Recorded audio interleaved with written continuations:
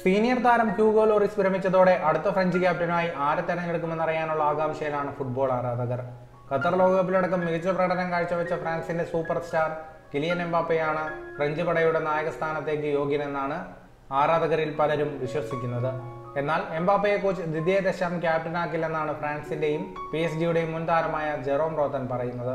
Kylian Mbappe French ദേശീയ ടീമിന്റെ ആമ്പാൻ അണിയാൻ സാധ്യതയുണ്ടെന്ന് പ്രശസ്ത ഫ്രഞ്ച് മാധ്യമ പ്രവർത്തകൻ ജൂലിയൻ ലോറസ് നേരത്തെ ട്വീറ്റ് ചെയ്തിരുന്നു.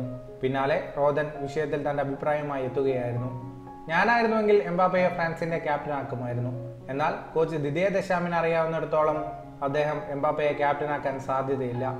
എംബാപ്പെ അനാവശ്യമായി ബഹളമുണ്ടാക്കുന്നത് തന്നെയാണ് ഇതിന് കാരണമെന്നും റോത്തൻ പറഞ്ഞു. ലോകകപ്പിന് മുൻപ് സ്പോൺസർഷിപ്പുമായി ബന്ധപ്പെട്ട് ഫ്രാൻസിന്റെ ദേശീയ ടീമിനൊപ്പമുള്ള ഫോട്ടോഷൂട്ടിൽ പങ്കെടുക്കാൻ എംബാപ്പെ വിസമ്മതിച്ചിരുന്നു.